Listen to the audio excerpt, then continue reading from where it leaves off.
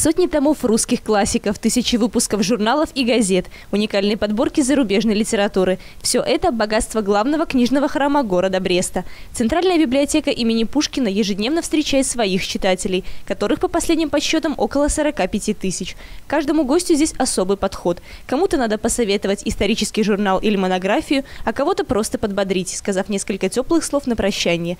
Жизнь меняется, совершенствуются информационные технологии. Однако живая печатная литература остается интересной брестской читающей публике. Вообще эта библиотека – универсальный хранитель информации в разных видах и формах. Это центр предоставления информационных услуг, это центр распространения знаний, духовности, интеллектуального общения. И э, это основная задача всех наших 15 городских библиотек.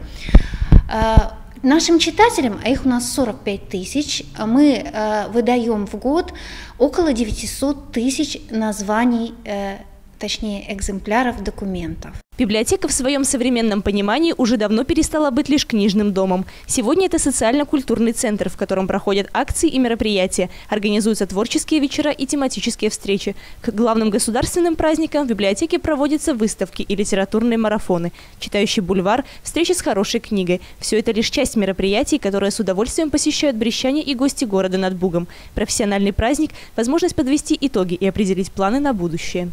Мы проводили различные праздники. Например, праздник «Читающий бульвар» был посвящен в этом году 40-м годам э, прошлого века, а точнее Бресту 40-х годов.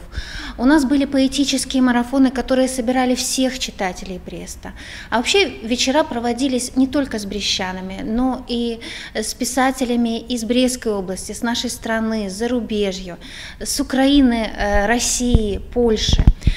А то, что будет дальше, будет тоже очень интересно. В праздничный день в библиотеке много гостей. Однако главные виновники торжества сегодня – библиотекари. Коллектив постоянно растет. Каждый год в него вливаются новые специалисты, обладающие не только высоким уровнем профессионального мастерства, но и особыми личными качествами. Дарья Вакульчик пришла работать в Пушкинскую библиотеку год назад. За время работы девушка ни разу не пожалела о том, что выбрала именно это ремесло. Свою работу считает призванием. Очень хороший коллектив, очень хорошо приняла, поэтому сразу, так сказать, э, врослась в этот коллектив.